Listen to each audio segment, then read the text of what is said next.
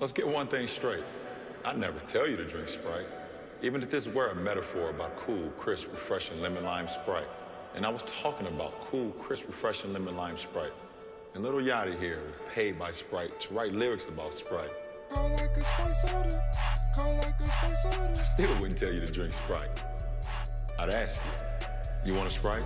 Endorsement deal